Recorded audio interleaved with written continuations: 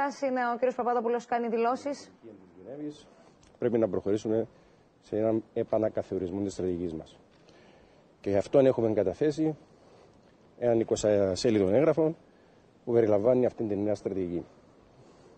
Ελπίζουμε οι δικές μας εισηγήσεις να ληφθούν σοβαρά υπόψη από τον πρόεδρο της Δημοκρατίας. Υπάρχει περιθώριο αναλλαγής αυτής της στρατηγικής ε, με τα όσα έχετε ακούσει σήμερα, κύριε Παπαδοπούλε. Ελπίζουμε, το ευχόμαστε, ότι θα ληφθούν υπόψη οι δικές μας εισηγήσεις και είμαστε στη διάθεση του πρόεδρου της Δημοκρατίας για να συζητήσουμε αυτές τις εισηγήσεις όταν και ο ίδιος επιθυμεί να μας ακούσει.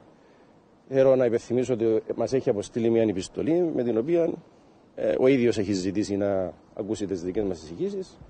Του τι έχουμε καταθέσει. Στο δικό μας έγγραφο περιλαμβάνεται η δική μας ανάλυση για τους λόγους της αποτυχίας της διαδικασίας της Γενέβης και του Μον Πελεράν. Αλλά επίσης καταθέτουμε και συγκεκριμένες εισηγήσεις για τη νέα στρατηγική που πρέπει να ακολουθήσουμε.